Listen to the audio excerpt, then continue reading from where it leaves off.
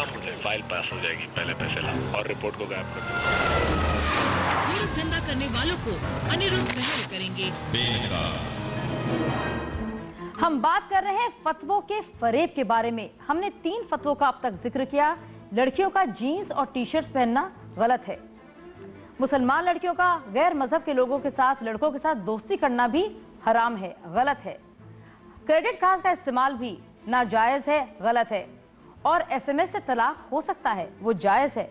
इन चा, तीन चार फतवों का हमने ज़िक्र किया। हम कर रहे हैं धर्म के ठेकेदारों को बेनकाब। अगर आपसे कोई कहे कि आप घर में टीवी नहीं देख सकते दलील दी जाए कि आपके धर्म में ऐसा करना नापाक है तो क्या करेंगे आप? स्टार न्यूज़ के पास एक ऐसा फतवा है जिसमें मुसलमानों को घर में टीवी देखना हराम बताया गया है। मेरठ के मौलाना इमरान ने यह फतवा हमें एक दूसरे मुफ्ती से दिलवाया सिर्फ़ पाँच हज़ार रुपए में।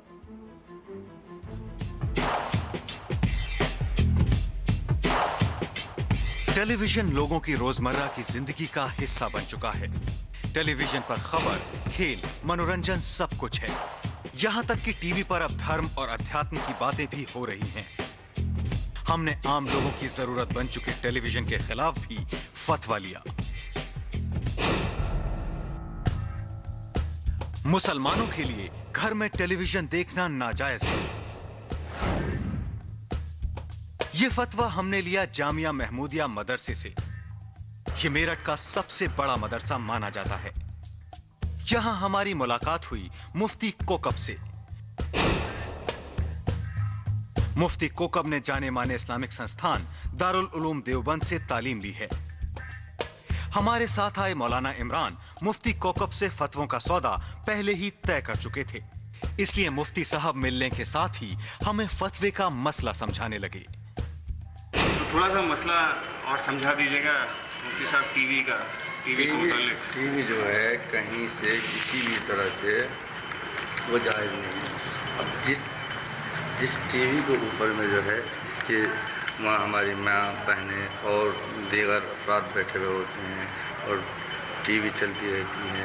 और उसी पे फिर कलाना पाक की तिलावत हो तो वो किसी तरह से भी ओलामा इकराम के नज़दीक जो है वो जायज़ नहीं है कि भाई टीवी के ज़रिए से जो है वो दीन फैले या टीवी के ज़रिए से कलाम पाक सुनाया जावे या टीवी के ज़रिए से जो है नज़में सुनाई जावे किरात सुनी जावे। ये बिल्कुल भी क्योंकि इसी पे तो गाने होते हैं इसी पे जो है। अच्छा आपका कहने का मतलब ये है कि जो मजहबी चैनल हैं जैसे क्यू टीवी है हाँ।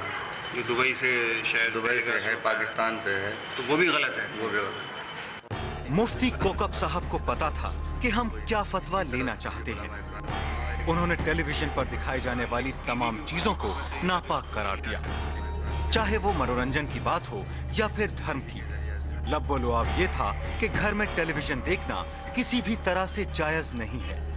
टेलीविज़न देखना ही हराम है। और फिर, मुफ्ती कौकब ने हमारे मुताबिक हमारे हक में एक फतवा भी जारी कर दिया। टेलीविज़न में जानदार की तस्वीर, मसलन नामहरम की तस्वीर और गाने बजाने में हती कि नंगी फ़िल्में और कहर गाने सुनाए जाते हैं। जिसकी वजह से बेहयाई बढ़ती जा रही है और अखलाक बिगड़ते जा रहे हैं जिसका एतराफ़ गैर मुस्लिमों को भी है। गैर मुस्लिम भी इसका एतराफ़ करते हैं कि इससे भी बढ़ रहा बढ़ रही है। निज टेलीविज़न ऐसी चीज़ भी नहीं है कि जिसके बगैर काम न चले। और टेलीविज़न नौ आज से तकरीबन चौदह सौ साल पहले जब नहीं थे तो काम चल रहा था। ये तो हाल में ही जाती है लिहाजा सूरत मसला में टेलीविज़न शबान दुरुस्त नहीं है किसी भी तरीके से।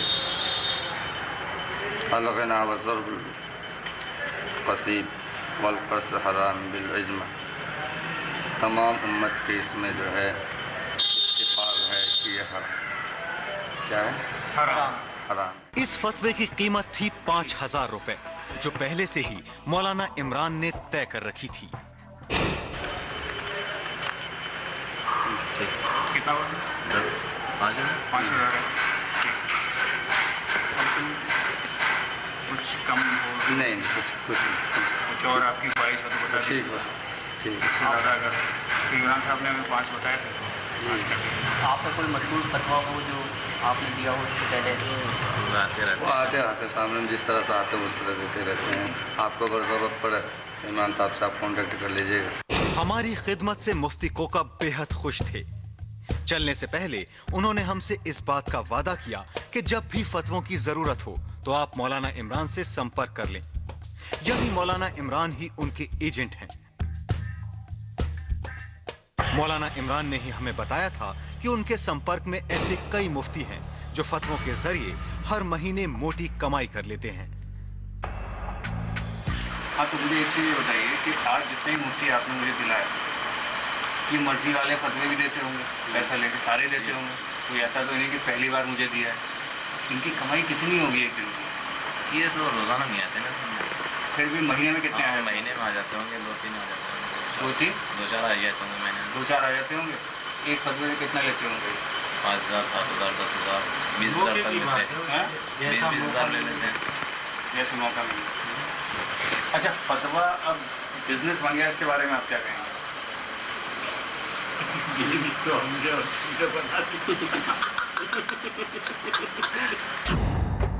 मौलाना इमरान ने हमें बताया कि फतवा जारी करना कई मुफ्तियों का बिज़नेस बन गया है। मौलाना इमरान ने हमें एक ऐसे मुफ्ती से भी मिलवाया जिन्होंने रुपए के लिए कैमरे वाले मोबाइल फ़ोन को मज़हब के खिलाफ करार दिया। जिस तरह आसानी से फतवों का सौदा हो रहा है निरुद्ध, क्या माना जाए इसको एक फलते फूलते बिज़नेस की तरह से देखा जाता है? इस सवाल पर काफ़ी हंसे भी वो सब। ये बिल्कुल है क्योंकि हमारे रिपोर्टर जहाँ भी थे और वहाँ से निकल मतलब कई उन्होंने मुफ्तियों से पूछा भी कि हम वापस आके अगर कुछ चाहें तो उनको कोई एतराज़ नहीं था, वापस आके एक तरह से उनका इशारा ये था कि आप आके अगर कोई और आपको फतवा चाहिए तो आप आके ले जाएँ, इसमें कोई बात नहीं। और बिचौलिए तो एकदम कह ही रहे थे कि आप जहाँ बोलिए हम जाके आपको फतवा दिला दें।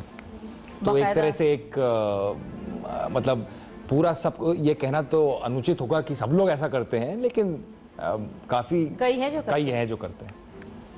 बिल्कुल। और इस तरह से हास- हासिल होते हैं फतवे। टीवी ही नहीं मोबाइल भी। आपको शायद ये मालूम हो कि कैमरा फ़ोन वाले मोबाइल का इस्तेमाल भी मुसलमानों के लिए नाजायज है। एक फतवा ऐसा ही कहता है।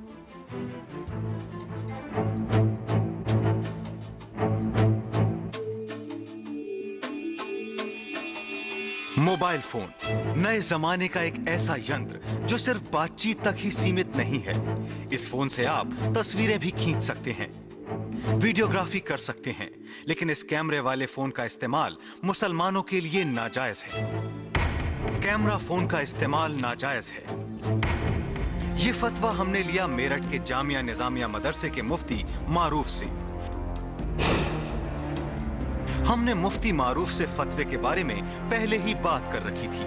मोबाइल फ़ोन के ऊपर मसूला में मोबाइल फ़ोन का इस्तेमाल सूरत मसूला में नाजायज़ है, जैसे तस्वीर ली जाती हो या किसी को किसी के शान में गुस्ताखी की जाती हो, इस सूरत में मोबाइल फ़ोन का इस्तेमाल नाजायज खासकर वो मोबाइल फ़ोन जिससे तस्वीर ली जाती हो, बिल्कुल ही नाजायज़ है। क्योंकि इस मोबाइल फ़ोन से माशरे में बिगाड़ पैदा हो, जिसकी मजम्मत मजहबी इस्लाम की इजाज़त नहीं देता। है कैमरा फ़ोन का इस्तेमाल मुसलमानों के लिए नाजायज है। ये फतवा हमारे कहने पर हमारी मर्ज़ी के मुताबिक जारी हुआ। दलील ये थी कि कैमरा फ़ोन का इस्तेमाल अश्लीलता फैलाता है। इसलिए कैमरा फ़ोन का इस्तेमाल हराम है। इस फतवे की कीमत थी पाँच हज़ार रुपए। बिचौलिए बने मौलाना इमरान ने मुफ्ती मारूफ से फतवे का सौदा पहले ही पक्का कर लिया था। सौदे के मुताबिक हमने फतवे के बदले पाँच हज़ार रुपए मुफ्ती मारूफ की तरफ़ बढ़ा दिए। कितने? पाँच हज़ार है ना? ठीक है इमरान साहब ने कहा था पाँच हज़ार उनको दे दीजिएगा फतवे के बदले में। मौलाना इमरान हमेशा इस बात का ख्याल रखते हैं कि फतवों की सौदेबाजी में हमेशा एहतियात बरती जाए। मौलाना इमरान ने हमें मुफ्ती मारूफ की मौजूदगी में बताया कि इन दिनों फतवा जारी करवाना थोड़ा मुश्किल हो गया है। खासकर वो मीडिया वालों से डरते हैं क्योंकि हर छोटे बड़े फतवों पर मीडिया की खास नज़र होती है। जैसे आपने पढ़ा होगा अभी जैसे आरिफ गुड़िया का मसला चल रहा। है गुड़िया का आरिफ का अभी एक इमराना वाला मसला चल रहा है। इसमें फतवा लिया और जिन्होंने फतवा दिया वो काफ़ी परेशान हो गए इसमें। मीडिया वालों ने इतना परेशान किया इतने इतना परेशान किया उसे मुफ्ती को। मुफ्ती गलत फतवा देने से कतराने लगे अभिमान से। मौलाना इमरान को इस बात की फ़िक्र रहती है कि फतवों का मामला कहीं मीडिया में न चला जाए। शायद उन्हें खबर नहीं थी कि फतवों की तमाम सौदेबाजी हमारे खुफिया कैमरे में कैद हो रही थी। फतवों के फरेब को लेकर कई और सनसनी खुलासे बाकी हैं। सनसनी खेज खुलासे महिलाओं के खेलने के खिलाफ भी जारी हुआ है फतवा। बेनकाब में हम देखेंगे यही एक छोटे से ब्रेक के बाद।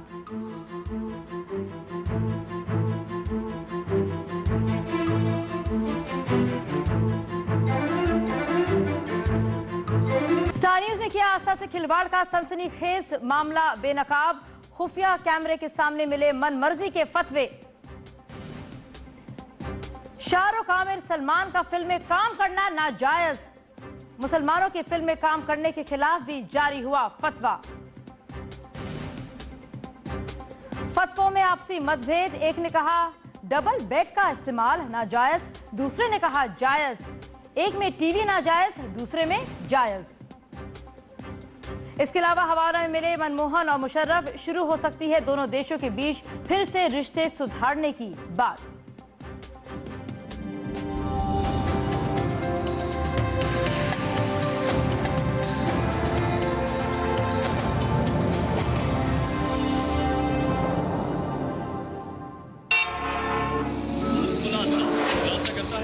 सफ़ेद पोशों का कम मुझे फ़ाइल पास हो जाएगी पहले पैसे ला और रिपोर्ट को गायब कर धंधा करने वालों को अनिरुद्ध करेंगे।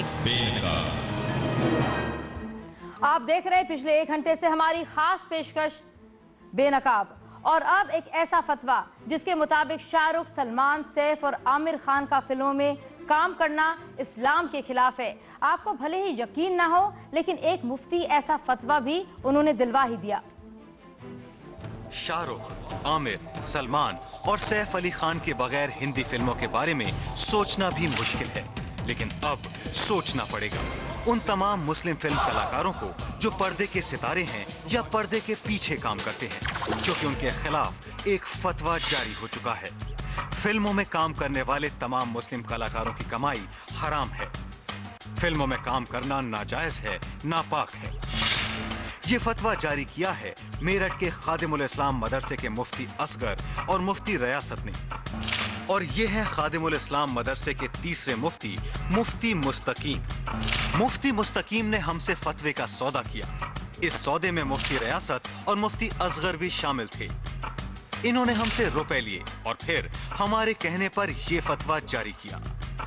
मुसलमानों के लिए फ़िल्मों में काम करना नाजायज है, नापाक है। कैसे हो रहा है आस्था से खिलवाड़? ये तलाश हमें मेरठ से हापुड़ तक ले गई। यहाँ हमें मिले कुछ और नए किस्म के फतवे।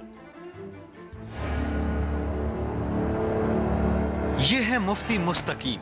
ये हापुड़ गाजियाबाद के एक मदरसे, खादिमुल इस्लाम के मुफ्ती हैं। मुस्तकीम साहब ऐसे मुफ्ती हैं, जो खुद फतवे जारी करने के बदले दूसरे मुफ्तियों के लिए बिचौलिए का काम करते हैं। मुस्तकीम साहब से हम फतवों के ही सिलसिले में मिले। मुफ्ती मुस्तकीम ने चार फतवों के लिए हमसे बतौर कमीशन सात हज़ार रुपए लिए।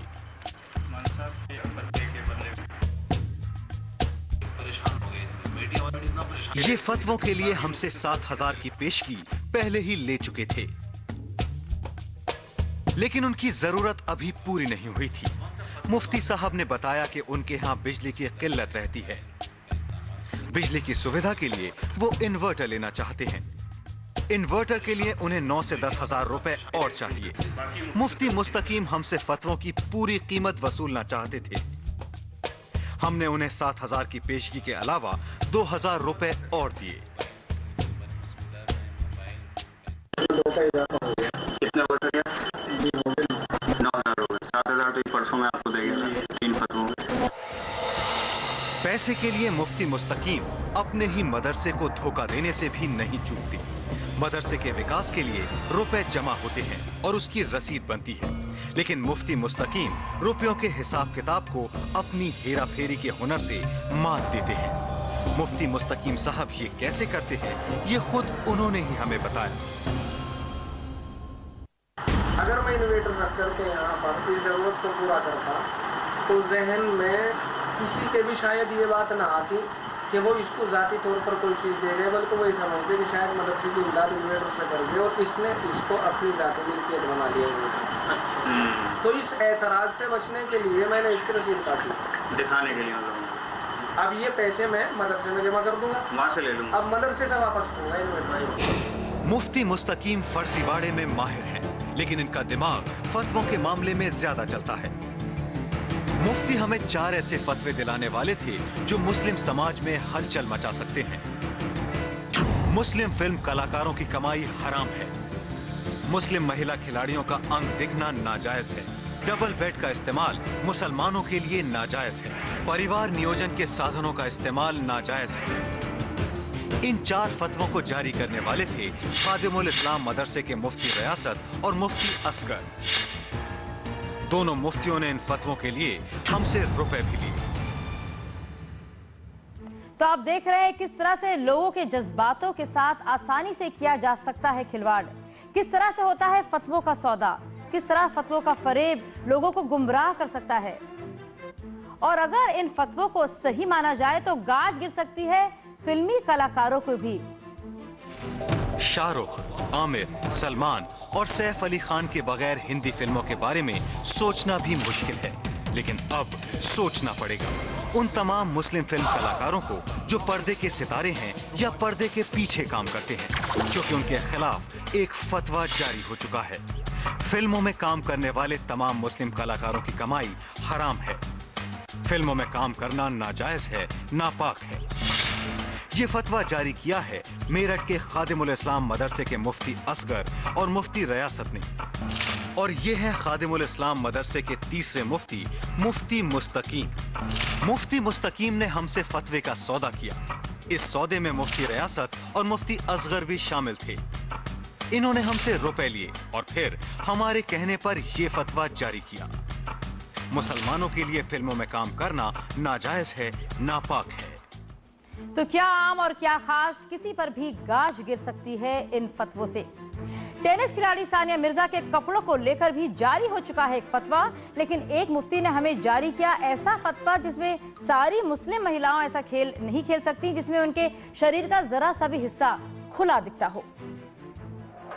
फतवे का मसला टेनिस खिलाड़ी सानिया मिर्ज़ा से भी ताल्लुक रखता है। सानिया मिर्ज़ा के खेल की काफ़ी चर्चा हुई। इसके साथ ही सानिया के कपड़ों पर भी खासा बवाल मचा। खिलाड़ियों जैसे छोटे कपड़े पहनकर सानिया का टेनिस खेलना हंगामे की वजह बन गया। यहाँ तक की बात सानिया के खिलाफ फतवों तक पहुँच गई। तहकीकात के दौरान हमने भी रुपए देकर सानिया जैसी महिला खिलाड़ियों के खिलाफ एक फतवा जारी करवाया। मुस्लिम महिला खिलाड़ियों का अंग दिखना नाजायज है। ये फतवा खादिमुल इस्लाम मदरसे के मुफ्ती मुस्तकीम ने हमें पढ़कर भी सुनाया। जवाब मुसलमान औरत का पूरा बदन आजाए, सतर में दाखिल है। मुसलमान औरत का ये यहाँ का हिस्सा ये भी पिंडली भी सब चीज़ें शतर में दाखिल है। मर्द का तो सिर्फ़ घुटने से यहाँ तक, नाक तक का है और औरत का यहाँ से लेकर सर तक है।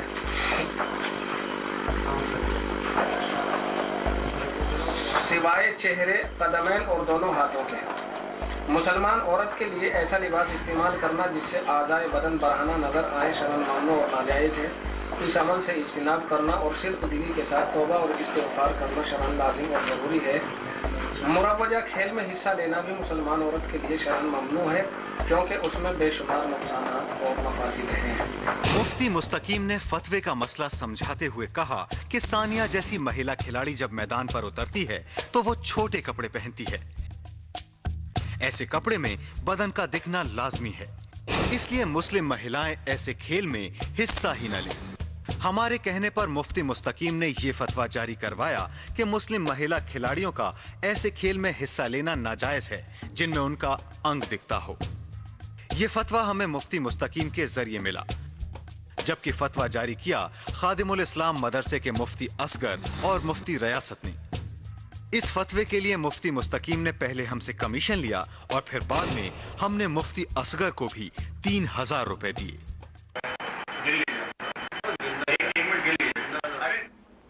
हमें एक ऐसा फतवा भी मिला जो कहता है कि डबल बेड पर मुसलमानों का सोना हराम है। क्या आप जानते हैं कि बड़ी आसानी से ये फतवा भी, ये फरमान भी हासिल कर लिया गया? रुपए लेकर फतवा जारी करने वाले मुफ्ती रियासत से हमने एक ऐसा फतवा भी लिया, जिसका मसला दिलचस्प था। फतवे का ताल्लुक घर में इस्तेमाल होने वाले डबल बेड से है। डबल बेड जैसे फर्नीचर का इस्तेमाल बेहद ही आम है। लेकिन हमने फतवा लिया, डबल बेड का इस्तेमाल मुसलमानों के लिए नाजायज है। डबल बेड पर दो से ज़्यादा लोग सो सकते हैं, इसलिए डबल बेड का इस्तेमाल मुसलमानों के लिए हराम है। रियासत साहब ने इस फतवे के लिए हमसे तीन हज़ार रुपए लिए, जबकि बिचौलिया बने मुफ्ती मुस्तकीम हमसे रुपए लेकर हमें ही समझा रहे थे कि इस फतवे की गुंजाइश उन्होंने कैसे निकाली। फर्नीचर में तो बहुत तगड़ा फतवा है ये तो। और क्या? तगड़ा मतलब? तगड़े का मतलब ये है कि अगर आप किसी और से लिखवा दे तो इतना मुदल्लल करके ना लिखता सवाल ही मैंने ऐसा कर दिया कि लगे पड़े कहने हुए किताब पर किताब उठाने किताब किताब उठाने। सवाल आपने ऐसा कर दिया जवाब हमारे हाथ में हो। मैं समझ रहा हूँ क्योंकि मैं आपको परसों ज़िक्र कर चुका था इस फतवे का। मैंने मुस्तकीम साहब ने अगर सवाल ऐसा कर दिया तो जवाब हमारे खिलाफ हो जाएगा। आपने बहुत सही चालाकी से काम किया। हवाले दे दे करके जो सवाल कायम किया है। मुफ्ती मुस्तकीम हमें समझा रहे थे कि उन्होंने कैसे डबल बेड के मसले को मज़हब से जोड़ दिया। अब जरा इनसे सुनिए कि डबल बेड क्यों मुसलमानों के लिए नाजायज है। डबल बेड बना है सिंगल बेड बना नहीं है कुर्सी बना नहीं है सोफा ये चीज़ें बना नहीं है। डबल बेड क्यों बना है? हाँ। उसकी वजह यह है हदीस पाक में आता है कि जब जवान हो जाए बच्चा तो उसका बिस्तर अलग अलग कर दो। डबल बेड का मतलब यह है कि उसमें दो तीन सोएँगे इसलिए वो डबल बेड का इस्तेमाल मना हो गया। बैठने के लिए हद तक सिर्फ़ बैठने की हद तक तो जायज़ है। लेटने की हद तक डबल बेड का इस्तेमाल एतबार से जायज़ मुफ्ती मुस्तकीम की बातों से ज़ाहिर था कि यदि इन्हें ज़्यादा रुपए दिए जाएँ, तो ये सिंगल बेड के इस्तेमाल को भी मुसलमानों के लिए नाजायज करार दे देंगे। मुस्तकीम साहब को तो सिर्फ़ नोट से मतलब है। वो हर तरह के फतवे की गुंजाइश निकाल ही लेते हैं। डबल बेड पर सोना हराम है। आखिर इसके बारे में इस फतवे के बारे में आपकी टीम ने कैसे सोचा? देखिए हम लोग का उद्देश्य किसी को एक तरह से हम लोग ने जब बनाए कि किस तरह के फतवे लिए जाएँ तो उसमें हम ज़्यादा सेंसिटिव फतवे यद्यपि निकाल सकते थे लेकिन हम लोग ने उसका ज़्यादा प्रयत्न नहीं किया। हम एक इसमें एक फार्सिकल एस्पेक्ट लाना चाहते थे कि आप जो फतवा कहें आप ला सकते हैं। यानी तो कि गंभीर के साथ साथ जो गंभीर के साथ साथ जो अटपटे फतवे हैं उनका हम उपयोग करना बिल्कुल। बिल्कुल अनिरुद्ध इस वक्त फतवों के फरेब पर चर्चा करने के लिए हमारे साथ ढेर सारे मेहमान हैं। मुस्लिम पर्सनल लॉ बोर्ड के सदस्य जफरयाब जिलानी इस वक्त और खालिद रशीद इस वक्त हमारे साथ मौजूद हैं। मौलाना मुस्तकीम ए आजमी जो महाराज महाराष्ट्र हज कमेटी के सदस्य हैं। हमारे साथ वरिष्ठ पत्रकार सईद नकवी और जामिया यूनिवर्सिटी की प्रोफेसर सुगरा मेहंदी भी हैं। सबसे पहले आप जफरयाब साहब, बताएँ, क्या कहेंगे आप, हम दिखा रहे हैं लगातार फतवों का फरेब। जफरयाब जी, बताएँ। हमारे साथ इस वक्त मौलाना मुस्तकीम भी मौजूद है। आप बताइए, क्या कहेंगे?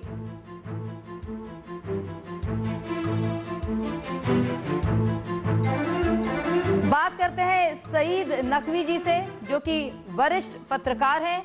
सईद जी, आपने देखा किस तरह से फतवों का बाकायदा सौदा किया जा रहा है? क्या कहेंगे आप?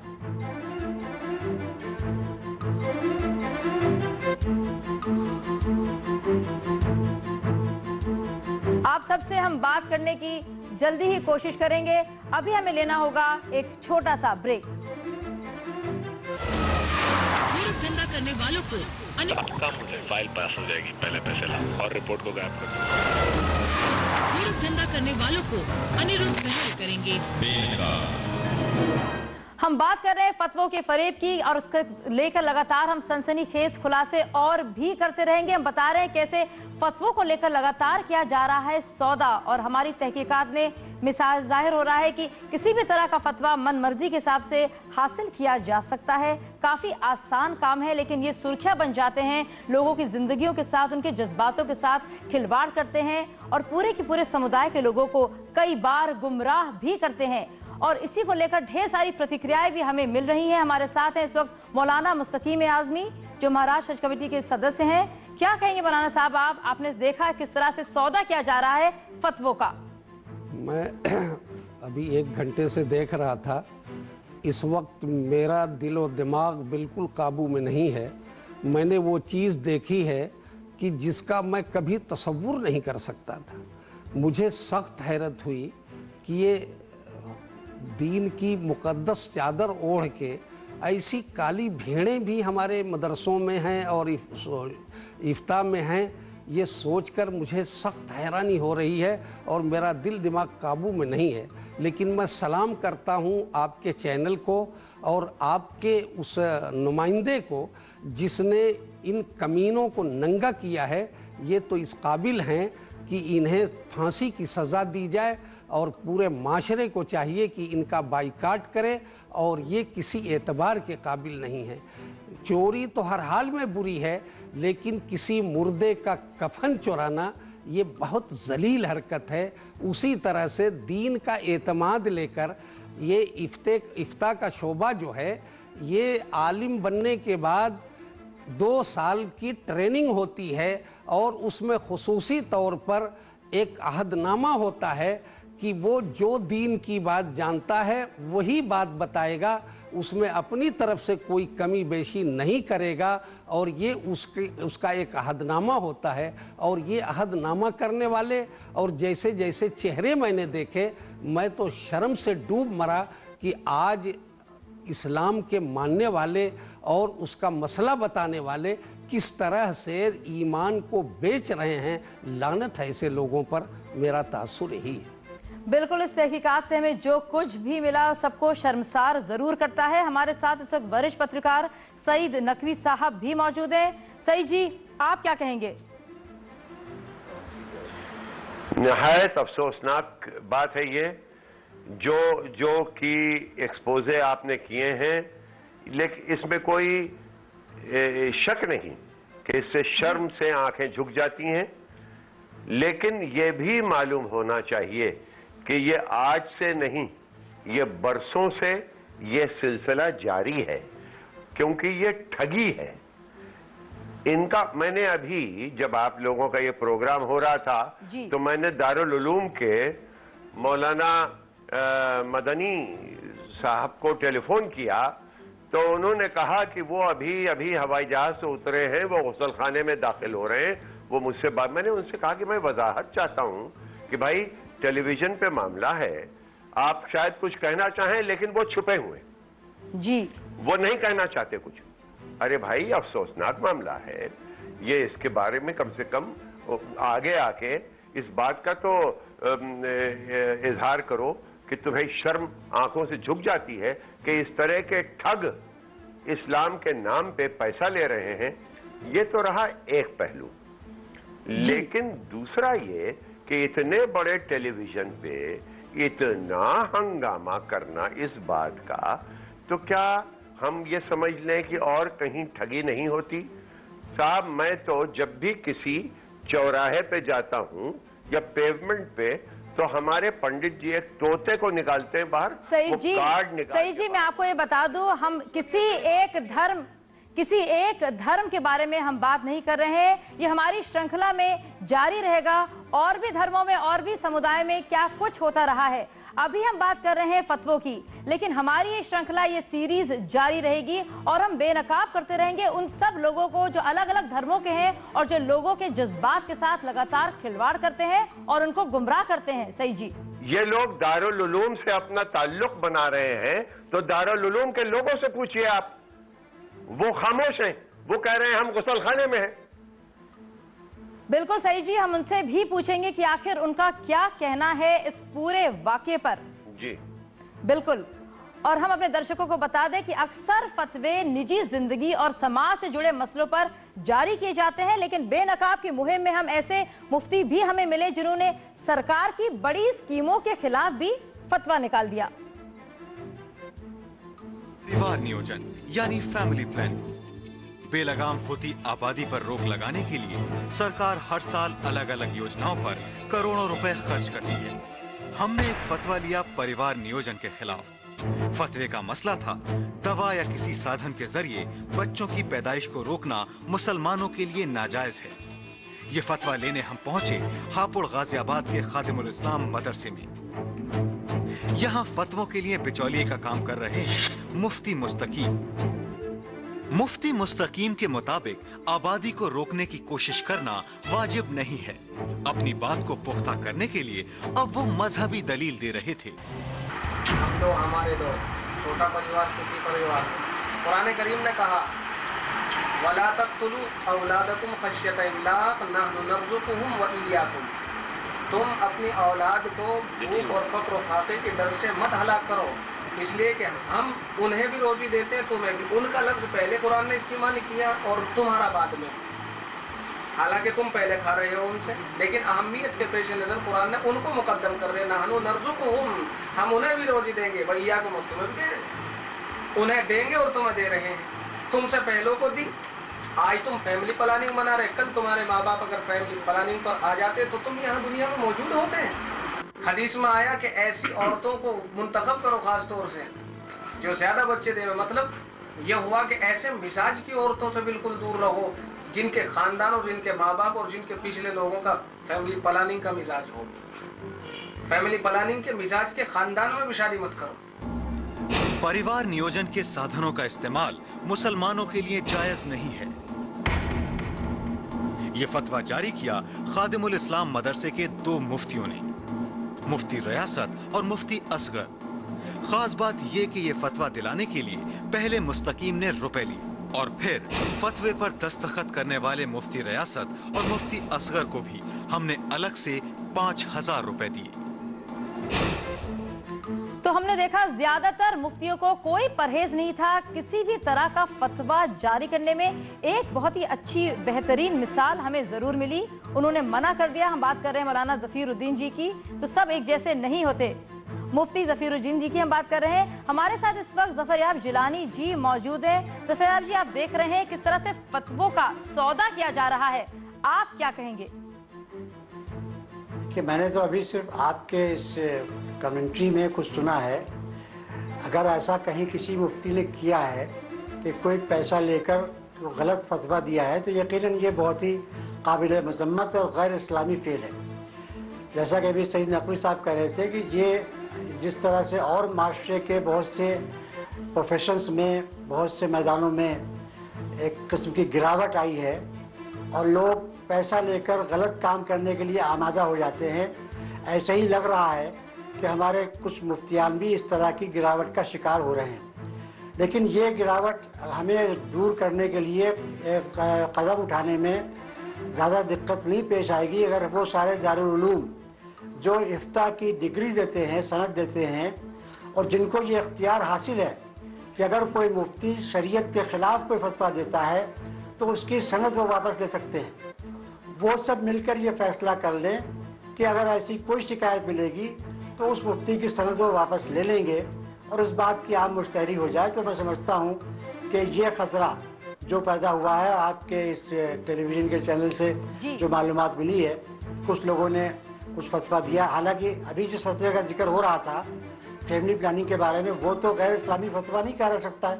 लेकिन अगर उसको भी लेने में किसी मुफ्ती ने कोई पैसा लिया है तो यकीन ये बहुत गलत बात है और ये इस्लाम के ख़िलाफ़ और शरीयत के ख़िलाफ़ बात है। और इसकी हमें हर तरीके से मजम्मत नहीं सिर्फ़ नहीं करनी चाहिए, बल्कि इसको रोकने के लिए इफ़ेक्टिव स्टेप्स लेना पड़ेंगे। जी जिलानी जी, हम लगातार देख रहे हैं इस वक्त तस्वीरें, बाकायदा कैमरे पर जो ली गई हैं कि कुछ ही छोटी सी रकम की एवज में इस तरह के फतवे जारी किए गए हैं। लेकिन अनिरुद्ध, किसी एक धर्म का, किसी एक समुदाय को के बारे में बात करना हमारी मंशा नहीं थी। हर एक धर्म में इस तरह के लोग होते हैं। खिलवाड़ करते हैं जज्बातों के साथ ज़िंदगी के साथ गुमराह करते हैं उनको। और बेनकाब में आगे भी हमारा यही मकसद रहेगा कि इन्हीं तरह के लोगों को सामने लाया जाए। बिल्कुल और ये ऐसा कोई स्पेसिफिक हम कोई टारगेट नहीं कर रहे किसी कम्युनिटी को। ऐसे हमारे कई इन्वेस्टिगेशन चल रहे हैं और आगे आएँगे जो कि ये साबित कर देंगे कि हम लोग एक तरह से कई तरह के इन्वेस्टिगेशन कर रहे हैं। बिल्कुल और इसके लिए हमें देखते रहना होगा बेनकाब। और अब एक ऐसा फतवा जिसने बच्चों को दी जाने वाली पोलियो की खुराक को भी एक साजिश करार दिया है। उसके बारे में बताएँगे आपको तफसील से विस्तार से और भी ढेर सारे सनसनीखेज खुलासे। किस तरह से फतवों का फरेब जारी है एक छोटे से ब्रेक के बाद।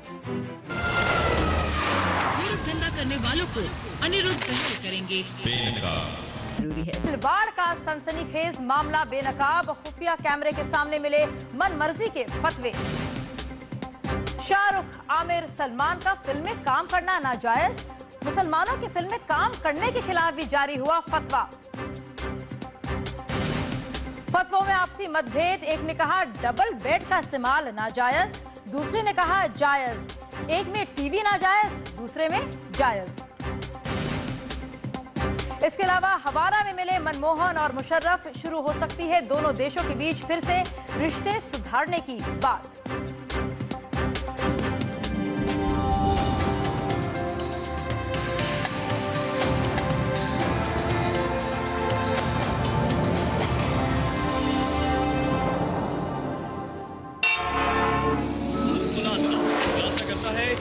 काम हो जाए फ़ाइल पास हो जाएगी पहले पैसे ला और रिपोर्ट को गायब कर पूरा धंधा करने वालों को अनिरुद्ध करेंगे।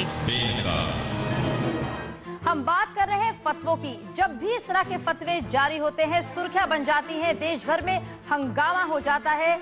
लोगों की जिंदगियाँ बदल तक जाती हैं। लेकिन क्या है फतवों की असलियत? हमने एक तहकीकात की और हमने इस तहकीकात में काफ़ी कुछ पाया।